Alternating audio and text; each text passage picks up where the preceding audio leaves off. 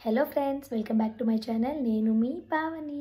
ఇవాళ వీడియో ఏంటి అంటే ఐస్ క్రీమ్ స్టిక్స్తో వాల్ ఫ్రేమ్ చేశానండి. అంటే మీకు వెనకాల కనిపిస్తూ ఉంది కదా ఇది సపరేట్ సపరేట్గా చేశాను అనమాట బట్ ఇప్పుడు చేసింది ఏంటంటే ఒకే ఫ్రేమ్లో ఫైవ్ థింగ్స్ ఏదైనా పెట్టుకునేలాగా అటాచ్ చేసి చేశాను.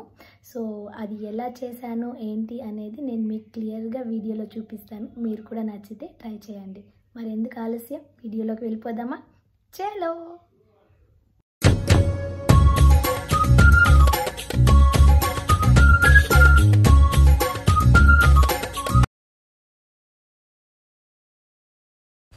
నేను ముందుగా పేపర్ పైన ఇలా షేప్ గీసుకొని దానిపైన ఐస్ క్రీమ్ స్టిక్స్ అటాచ్ చేస్తున్నాను. ఎందుకంటే మళ్ళీ షేప్ అటు ఇటు అయిందంటే చూడ్డానికి బాగోదు కాబట్టి ఇలా చేశాను.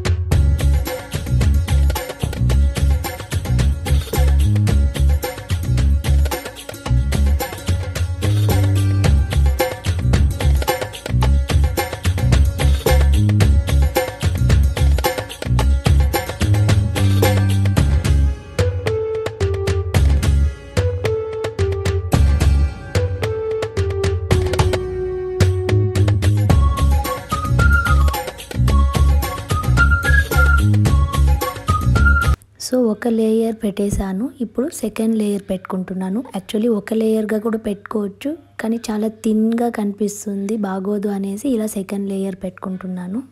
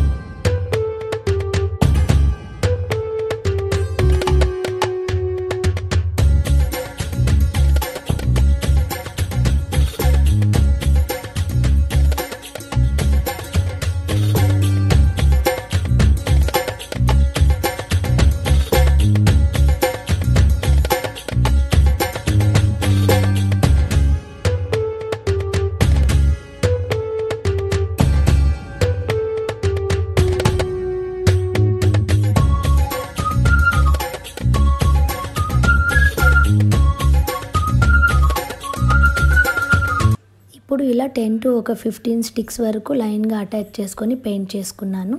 ఎందుకంటే ఇలా పెట్టడం వల్ల మనం ఏమన్నా ఐటమ్స్ అక్కడ పెట్టుకోవడానికి వీలవుతుంది కాబట్టి ఇలా బంచ్ ఆఫ్ స్టిక్స్ని అటాచ్ చేసుకుంటున్నాం అనమాట వాల్ ఫ్రేమ్ రెడీ అయిపోయింది. చూడండి ఎంత క్యూట్గా ఉందో. వాళ్ళకి పెడితే కూడా అంతే అందంగా ఉంటుంది. ఇప్పుడు దీనిపైన పెట్టుకోవడానికి నేను ఒక చిన్న గ్లాస్ ఐటమ్స్ రెడీ చేసుకుంటున్నాను.